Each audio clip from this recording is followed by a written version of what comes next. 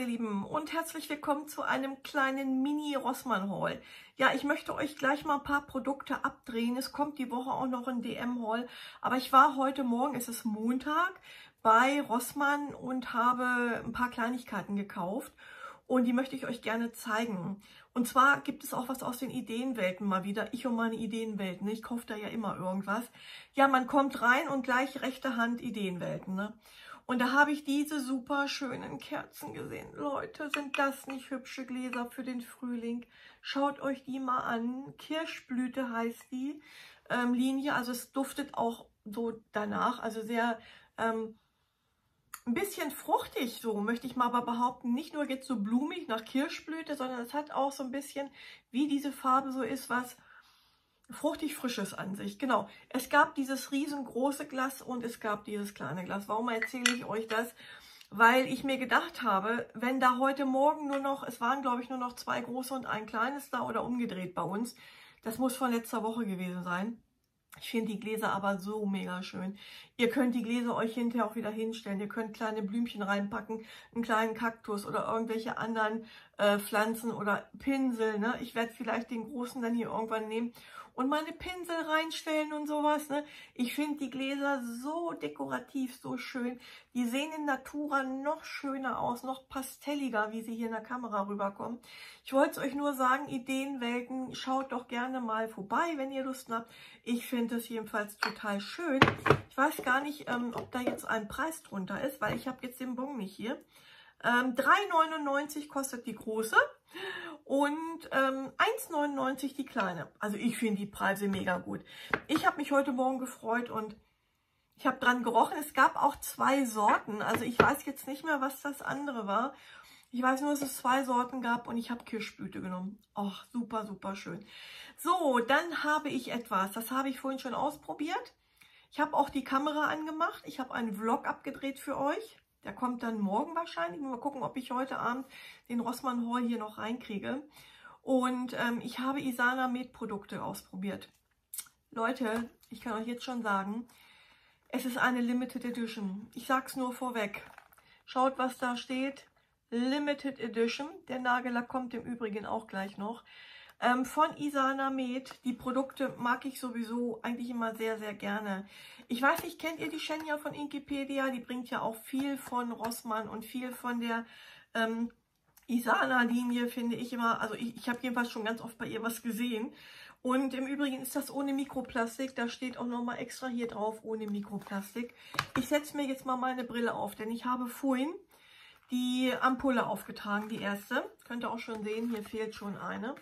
Habe das mitgefilmt und habe nur gedacht, wow, wow. Ich erzähle euch das im Vlog.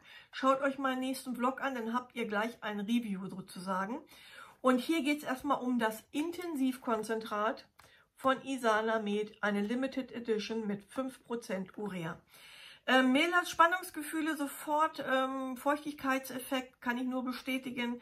Rezeptur ohne Mikroplastik hat ja Rossmann im Moment ganz viel, also die stellen auch sehr vieles jetzt um und werben damit ja auch. Sieben Tage Wochenkur. Und jetzt zeige ich euch, oder ich lese euch noch mal ganz kurz vor, was hier hinten drauf steht. Also Urea besitzt ja eine ausgezeichnete feuchtigkeitsspendende Wirkung äh, und hilft dem Feuchtigkeits der, Feuchtigkeitsgehalt der Haut zu erhöhen. Genau.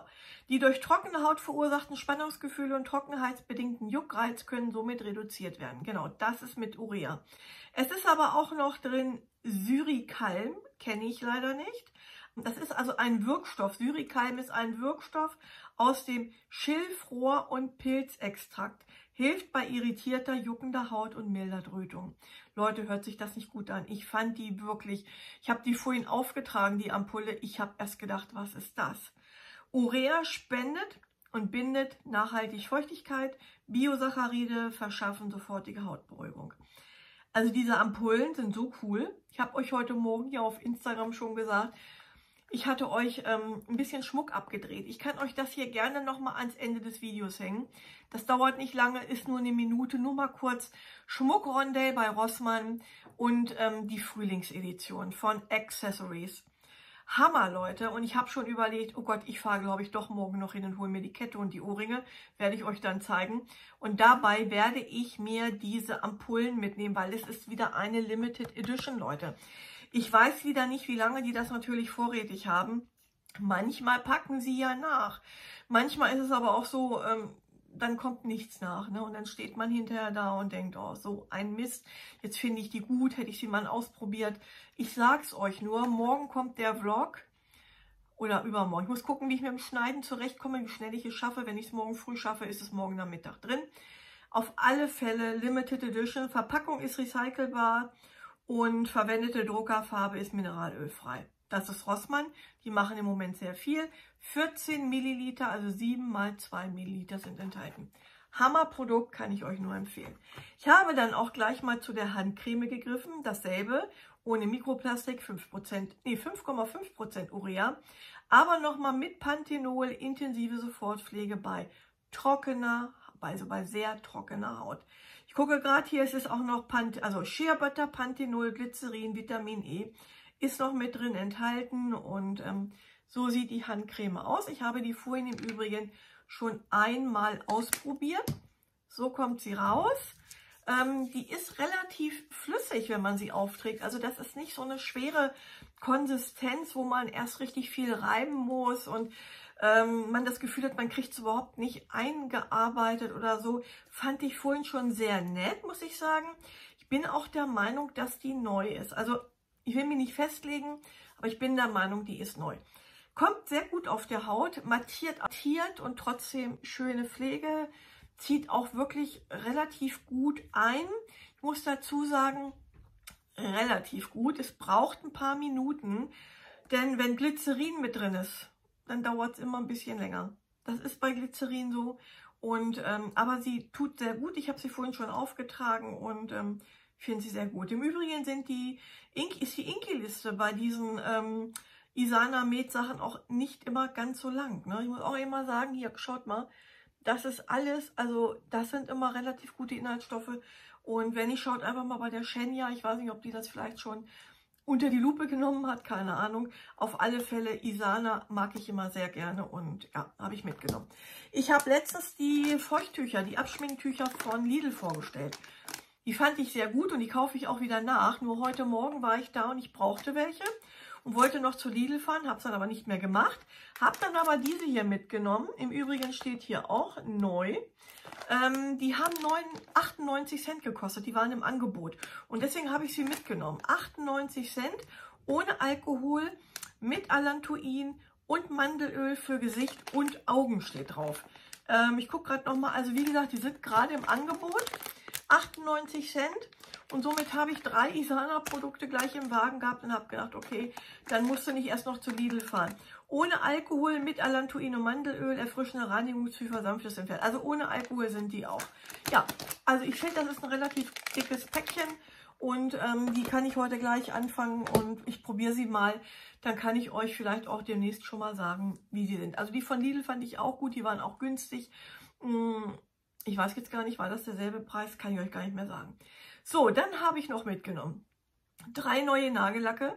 Die habe ich euch schon vor mindestens zwei, drei Jahren mal gezeigt. Und zwar hat Rossmann Rival de Loop diese Ultra Gel Nail Polishes. Das sind diese hier. Und die habe ich euch mal gezeigt vor, weiß ich nicht, 2016 oder 17. Da gab es die, glaube ich, als Sommeredition. Ich weiß nicht, wer sich daran noch erinnern kann. Damals wusste ich noch nicht, ob es die immer im Sortiment gibt. Auf alle Fälle habe ich diese drei Farben mitgenommen. Den hier habe ich auch drauf. Könnt ihr, glaube ich, hier, glaube ich, ganz gut sehen ne, auf der Seite. Und ähm, ich finde die super, super schön. Ich habe damals schon gesagt, die sind toll. Ich habe die damals auch in irgendwie so ein Pastellrosa noch gekauft. Also hier habe ich die drei. Ich gucke gleich mal nach den Farbnummern. Das ist so ein schöner bäriger Ton, der hätte heute auch gut gepasst. Aber ich habe mich heute für diesen ähm, lilanen Farbton, im, ja, so ein bisschen Kontrast, habe ich mir gedacht, ne? Bietet so ein bisschen Kontrast und habe gedacht, nimmst du heute mal lila. Ähm, es gehört aber immer ein Topcoat drauf. Damals auch auf den Flaschen stand das auch. Da nehme ich aber immer den Essie to go. Ne? Oder wie heißt der? To go, to go, to go. Moment, den habe ich hier. Äh, Good to Go. Nicht Essie to Go, aber Good to Go. Das ist der. Den nehme ich immer, weil ich mag den Essie Good to Go total gerne. Aber diese Nagellacke, die mochte ich damals schon. Und ich hatte auch letztens erst zwischendurch wieder den äh, Pastellrosanen drauf. Schön deckend im Übrigen. Leute, die decken beim ersten Mal. Ihr braucht keine zwei äh, Schichten auftragen. Wirklich beim ersten Mal. Der Pinsel fächert super schön auf. Also meine kleinen Nägelchen, ich habe ja noch nicht so die großen Nägelchen, ne? einmal aufgetragen, aufgedrückt, nach hinten geschoben, nach vorne gezogen. Äh, ich brauchte nicht noch rechts und links irgendwie oder so. Das ist wirklich, der hat, der Pinsel, den legt ihr auf und dann macht er so und dann zieht der richtig schön rüber. Fantastisch. Im Übrigen steht drauf, die spezielle Formel hohe Deckkraft sorgt für einen ultimativen Volumeneffekt mit, einer 3D, mit einem 3D-Finish. Langanhaltender Glanz, bitte Unterlack verwenden. Unterlack habe ich sowieso drauf. Ich habe aber auch einen Überlack drüber. Als Unterlack habe ich ja immer, schon seit mindestens zwei, drei Jahren jetzt, ne, glaube ich, ähm, den Mikrozell 2000, ne, habe ich euch schon ganz oft erzählt. Der kommt bei mir immer drunter und seitdem ich den immer verwende, ich weiß, das ist nicht bei allen so. Gibt auch Zuschauer, die sagen mir, Astrid, bei mir funktioniert der nicht. Das kann sein. Es kann sein. Es kann nicht alles immer zu 100% bei jedem funktionieren. Bei mir funktioniert er sehr gut. Und ähm, ich muss sagen, ja, seitdem sind meine Nägel jetzt so nach einem Jahr ungefähr, es hat lange gedauert, es ging nicht irgendwie, irgendwie in drei Wochen oder irgendwas, aber dauerhaft angewendet, immer als Unterlack, immer als Unterlack drunter, unter jedem Nagellack ähm, habe ich den Mikrocell 2000 immer. Auf alle Fälle finde ich die sehr schön. Der lila ist lila, ne? Ist im Übrigen die Farbnummer 15. Der hier, den habt ihr jetzt hier auch schon gesehen. Der bärige ist 14, oh, ganz leicht zu merken. Und dieser fliederfarbene ist Nummer 16. Super schöne Lacke, also ich mag die wirklich sehr gern. Dann habe ich mir gleich aus der Abteilung, ich hatte keinen, also normal wollte ich mir von Trended Up die, diesen Nailwachs wieder kaufen. Den finde ich sehr schön. Der geht dem Ende zu und da habe ich mir gedacht, schaut mal so, das Döschen ist so, geht dem Ende zu und den nehme ich sehr gerne. Den werde ich mir auch wieder nachkaufen. Also das nächste Mal, wenn ich bei DM bin, werde ich mir auch den wieder mitbringen. Aber ich wusste nicht, wann komme ich wieder zu DM und habe mir von Rivalde Loop die Nagelhautcreme mitgenommen, aber als Intensivpflege bei trockener Nagelhaut mit Panthenol und Mandelöl. Ich mit meinem Mandelöl, ihr wisst es. Das ist diese äh, Tube. Und ähm, ich habe mir einfach gedacht, ich probiere es mal. Ich gucke gerade mal, ich mache mal auf. Aha, okay. Warum jetzt da ein Applikator dran ist, weiß ich nicht, weil eigentlich ist das ja mehr so ein Lippenapplikator. Hier kommt die Creme auch relativ flüssig raus. Ja, flüssig. Und ich muss mal gucken, ob die dann auch schön pflegt. Ich mache das jetzt gerade mal. Zieht natürlich schneller ein. Also der Nagellack, äh, der Nagelwachs von Trended Up, der zieht nicht so schnell ein, ne? pflegt aber dafür echt bombastisch, muss ich echt sagen. Ich bin ja ein Sally Hansen Fan. Ich habe auch unten immer noch meine Flasche Sally Hansen Öl stehen. Aber hier oben benutze ich immer den Wachs und manchmal habe ich immer das Gefühl, als wenn nach dem Wachs meine Nagelhaut eigentlich noch ein bisschen schöner ist. Ich kann es euch nicht sagen. Ähm, ja, sieht aber auch gut aus. Finde ich auch schön. Ich mache nochmal die zweite Seite. Ja, es ist sehr flüssig. Also das ist jetzt nicht irgendwie wachsartig oder kommt raus wie so eine flüssige Handcreme. Also flüssig, ne? Und ähm, ich muss mal gucken, wie die Pflegewirkung ist. Vielleicht kann ich euch dazu auch dann irgendwann mehr sagen. Also zu dem Wachs kann ich euch das Review geben. Der Wachs ist sehr gut. Ich habe euch da ja einiges vorgestellt von Trended Up. Da war ja die das Handpeeling dabei, die Handmaske, die Handcreme, die Handbutter und ähm, das ist alles sehr gut. Also das verwende ich immer, wenn ich hier oben bin. Aber das zieht natürlich schnell ein, ne? schnell eingezogen, fettet nicht, man kann schnell was anfassen. Beim Nagelwachs dauert das länger. Also den solltet ihr wirklich vielleicht nur nehmen, wenn ihr abends ins Bett geht. Das ist natürlich was, das könnt ihr euch sogar in die Handtasche packen.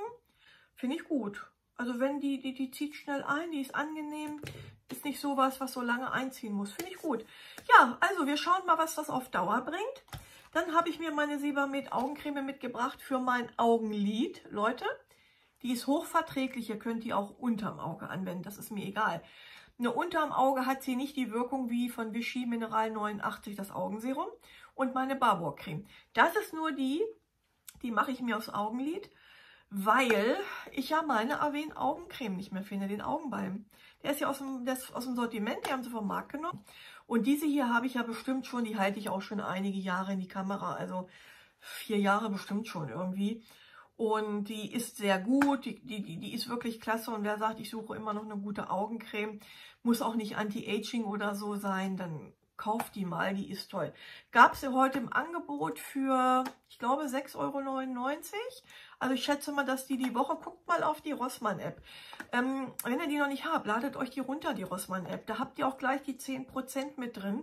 Und wenn man dann an der Kasse ist, dann tippt man das nur an auf Aktivieren, geht oben nochmal in dieses Quadrat rein, dass das auch wirklich an der Kasse dann eingescannt werden kann, weil dann erscheint dieser Barcode-Label und dann hat es auf diese 6,99 Euro, die kostet glaube ich sonst 9,99 Euro, ja nochmal die 10% auf den Gesamteinkauf auch noch und dann lohnt sich das. Ne? Dann hat sich das heute echt gelohnt. Ja, die habe ich mitgenommen. Dann habe ich an der Kasse noch was mitgenommen. Ihr wisst, ich habe schon mal eine Kooperationsanfrage gehabt für Cannabiol, habe das dann aber abgelehnt. Ähm, ich selber möchte mal sagen, ich weiß es nicht. Ich war mir unsicher. Vor allen Dingen sowas möchte ich eigentlich nicht auf meinem Kanal bringen. Ich habe mir heute aber mal die Kaugummis gekauft, weil ich für mich persönlich es einfach mal vorsichtig ausprobieren möchte. Hier sind 5 Milligramm Cannabidiol. Cannabidiol drin, nicht Cannabiol, sondern Cannabidiol. Und ätherische Öle und Xylit, halt das, was im Kaugummi halt so drin ist. Aber auf alle Fälle 5 Milligramm. Die Tagesdosis ein Kaugummi während 20 Minuten zu begrenzen. Okay. Vegan, glutenfrei, laktosefrei, ohne Aspartam. Vielleicht kaue ich die einfach mal abends, weil ich liege abends gerne in meinem Sessel vorm Fernseher und gucke noch ein bisschen ähm, YouTube und so. Ich gucke ja auch andere Videos. Und dann kaue ich immer ein Kaugummi. Ich habe immer so ein Päckchen, ähm, wie heißen die eigentlich? Die kennt ihr, so eine Dose, so eine Runde extra. Und dann kaue ich abends immer Kaugummi. Warum weiß ich auch nicht. Und da habe ich mir gedacht, dann nehme ich die hier. Und dann gucke ich mal, was sie so machen. Mal gucken. Vielleicht machen sie auch gar nichts. Keine Ahnung. Wie viele sind hier eigentlich drin? 24. Sugar-Free Gums. Okay. Wir schauen mal. So, das war mein Mini-Rossmann-Haul. Im Übrigen habe ich heute eine mega coole Foundation drauf. Die hatte ich jetzt aber bei DM gekauft vor drei, vier Wochen und habe die aber heute das erste Mal aufgetragen, Leute. Die ist der Hammer. Die ist der Hammer. Hammer Foundation. Ich habe heute schon auf Instagram mich gemeldet und habe gesagt, Leute, die ist ja der Kracher. Und was soll ich sagen? Mir schreiben gleich drei, vier, fünf Leutchen, ja, Astrid, die habe ich auch. Und die ist auch wirklich gut. Jeder sagt, Astrid, das ist die genialste Foundation. Drogerie, Drogeriepreis, auch wenn L'Oreal ein bisschen hochpreisiger ist. Aber ich glaube, guckt doch mal, wenn Rossmann wieder Angebotswoche hat. L'Oreal 20% plus den 10% Gutschein, dann habt ihr einen super Preis. Ich weiß nicht, ob die 13 Euro kostet hier oder so. Dann kriegt ihr die hinterher was um die 10 Euro oder so. Also ich habe heute wirklich schon auf Instagram gesagt, warum braucht man dann noch die Double Wear? Warum? Keine Ahnung. Ich brauche sie nicht. Ich habe mir überlegt, die ist super schön. Und ähm, ja, das wollte ich euch nochmal zeigen heute. Auf alle Fälle ist das mein Rossmann Haul. Und den Rest drehe ich noch ab. Es kommt morgen ein Vlog und es geht so weiter. Also, ich bedanke mich erstmal fürs Zuschauen. Übrigens, morgen im Vlog kommt der Airfryer, das Make-up, ähm, die Isane-Ampullen und alles sowas. Okay? Alles klar. Wir sehen uns. Macht's gut und vielen Dank erstmal. Ciao.